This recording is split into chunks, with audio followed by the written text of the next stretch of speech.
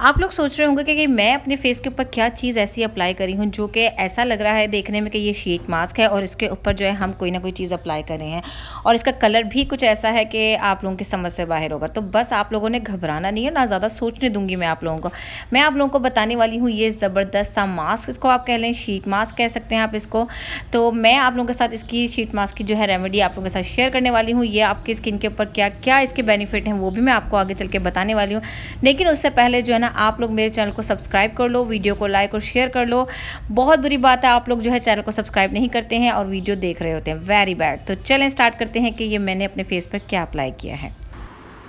अस्सलाम एवरीवन कैसे हैं आप सब लोग? उम्मीद है खैरियत से होंगे ठीक ठाक होंगे। Welcome back to another new video तो चलें, करते हैं स्टार्ट इस इस मास्क को बनाने के लिए जो जो हमें इंग्रेडिएंट्स चाहिए, वो कुछ ज़्यादा इंग्रेडिएंट्स हैं जस्ट टू इंग्रेडिएंट्स के साथ आपका ये मास्क रेडी होने वाला है, या थ्री इंग्रेडिएंट्स कह लें। लेकिन यहाँ पर जो मेन इंग्रेडिएंट्स हैं, वो ये टू इंग्रेडिएंट्स हैं। आपने क्या लेना है? आपने लेना है एक एग वाइट यानी कि आपने अंडे की सफ़ेदी लेनी है, एक अंडे की सफ़ेद लेनी है, और उसके अंदर आपने वन टीस्पून जो है, आपने कॉफ़ी का ऐड करना है। और फिर आपने इसको अच्छे से मिक्स कर लेना है। बहुत अच्छी तरह मिक्स करना है कि कॉफ़ी के लम्स जो हैं वो इसके अंदर ना हो, ये अच्छी तरह कॉफ़ी जो है वो एग वाइट के साथ, यानी कि अंडे की सफ़ेदी के साथ अच्छी तरह से मिक्स हो जाए।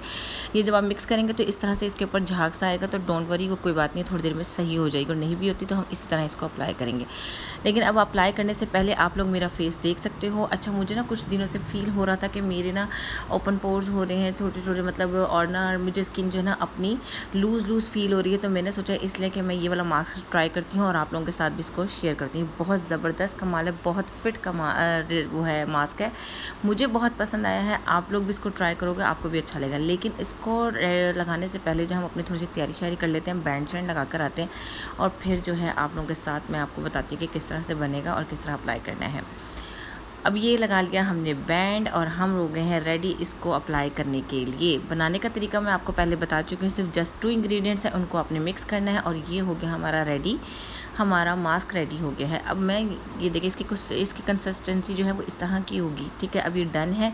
अब मैं इसको आपको फेस पे अप्लाई करके दिखा रही हूँ। आप लोगों ने इस तरह से फेस पे अप्लाई करना है। एक थिंस इसके अंदर बिल्कुल भी स्मेल नहीं है। ज़रा सी भी आपको इसके अंदर से अंडे की स्मेल नहीं आएगी, जिस तरह से आती है वैसे। क्योंकि ये अंडे की सफ़ेदी है, इसलिए इसके अंदर इतनी ज़्यादा स्मेल नहीं होती है। और कॉफ़ी डाल के तो और इसकी अच्छे से स्मेल हो गई अब आपने इसके जो है ना, इस तरह से थिन लेयर आपने इसकी अप्लाई करनी है अपने फेस के ऊपर। पहले एक लेयर आपने अप्लाई करनी है और अच्छी तरह अपना पूरा फेस जो है इसे कवर कर लेना है। अब यहाँ मेरा डन हो चुकी है वन लेयर अब मैंने इसके ऊपर क्या करना है, हमारा, अब सेकंड स्टेप आ जाता है हमारा ये टिश्यू पेपर अब आपने क्या करना है कि ये टिश्यू पेपर आपने अपने फेस पे इस तरीके से अप्लाई करना है कि ये आपकी स्किन के साथ, आपके फेस के ऊपर जो है, ये अच्छे से पेस्ट हो जाए, अच्छे से चिपक जाए आपके फेस के साथ। आपने इसको इस तरह से टिश्यू को अप्लाई करना है।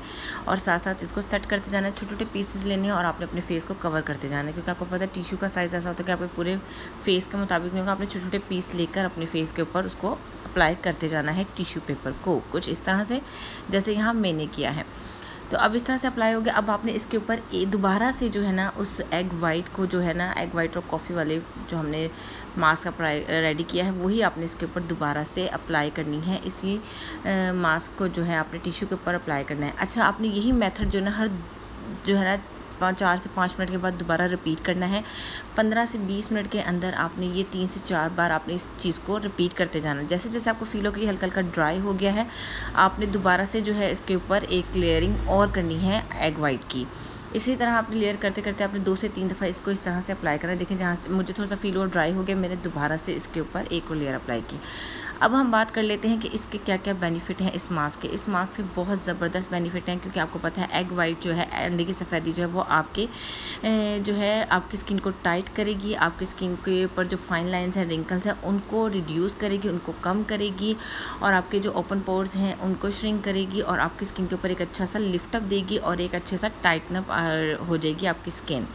ठीक है, अब आपने जो है इसको इस तरीके से लगा के छोड़ देना है। अब उसके बाद हम कॉफ़ी की बात करें तो कॉफ़ी के अंदर आपको पता है कॉफ़ी जो है इंस्टेंट आपकी स्किन कलर को जो है वो ब्राइट करती है। तो इसलिए जो है ये आपकी स्किन को जो है ब्राइट भी करेगी और साथ साथ जो है आपके फाइन लाइन्स और रिंकल को रिड्यूस भी करेगा। बहुत ज़बरदस्त कमाल का मास्क है।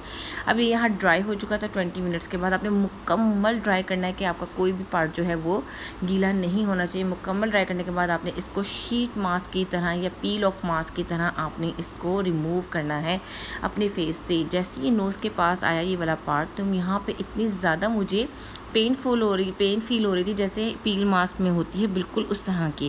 क्योंकि मेरी नोज़ पे जो थे ना ब्लैक हेड्स और वाइट हेड्स थे, जो कि इस मास्क ने बहुत अच्छे से रिमूव किए हैं। मुझे यकीन नहीं आ रहा था कि ये मेरे वाइट हेड्स इतने अच्छे से रिमूव करेगा और बाकायदा टिश्यू पेपर्स पे वो वाइट हेड्स मेरे नज़र भी आए हैं और मेरी नोज़ इतनी अच्छी नीट एंड क्लीन हो गई थी।